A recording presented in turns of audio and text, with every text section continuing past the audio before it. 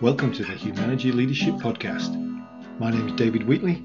We're here to talk leadership in small, bite sized, and practical chunks. Enjoy.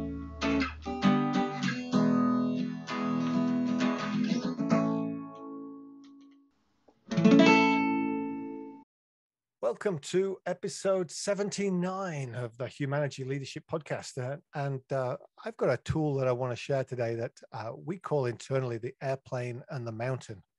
And this is about addressing performance issues. And so if you draw a line, a straight line on a piece of paper that is the base, and then on the right hand side, you draw some triangular spikes that make it look like mountains.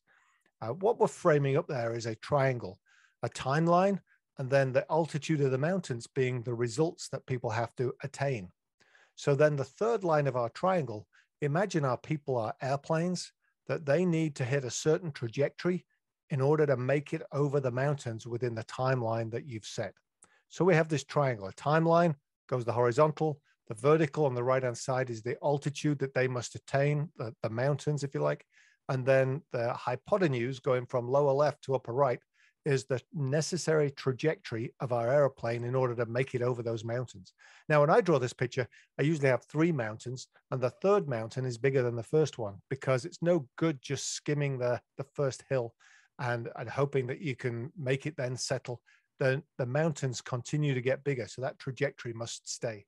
And what's important here is that we paint a clear picture for our employees of what they need to attain, the mountains, their timeline for success, the distance between now and the mountains, the current trajectory, what the impact is if they keep on going the way that they are, and then the consequences of the current trajectory.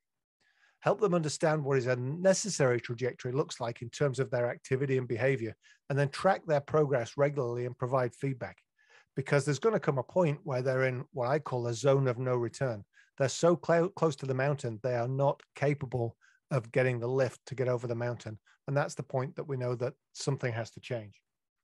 As we play with this tool, we actually draw in quite often four different types of trajectory. The first one we call steady as she goes. It's a green line that's going straight over the mountains. It's in a great angle, great direction. We just need to stay the course, don't let up, and look at some behaviors and try and lock them into habits. If we go slightly lower than that, we have a yellow line which doesn't quite go over the first mountain.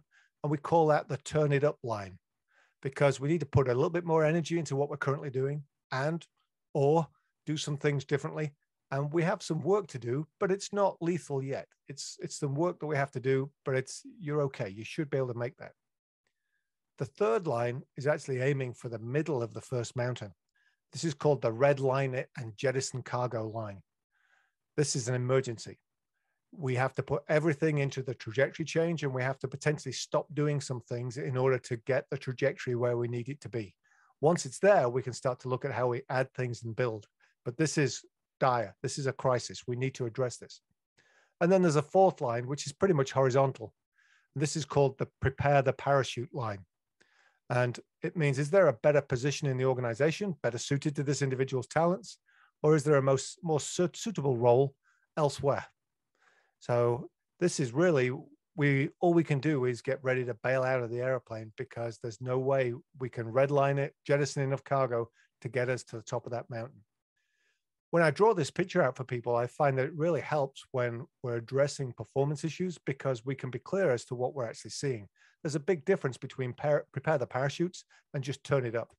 And so being clear about that and what those behaviors and attitudes look like on the trajectory is critical if we're addressing performance issues. I'll tell you what I'll do though.